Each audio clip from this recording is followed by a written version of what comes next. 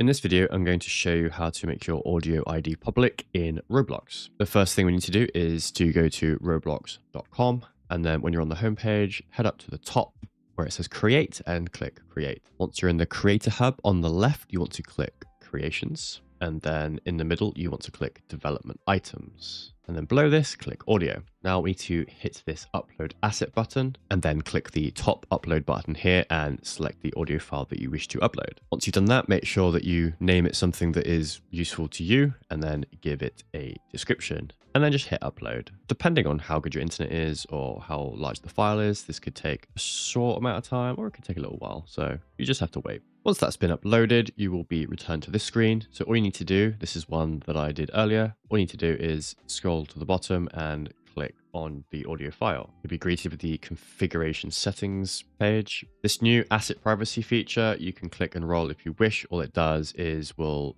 default to allow restricted assets on creation. That isn't necessary for what we're doing here, but we want to scroll down further to distribution. And then you can see distribute on creator store and this tab or toggle is grayed out.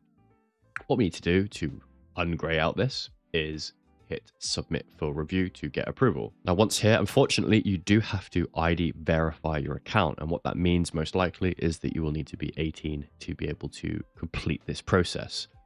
Once you have verified, all you need to do is tick everything here and then hit submit. And that is absolutely it. Thanks for watching and I'll see you in the next one.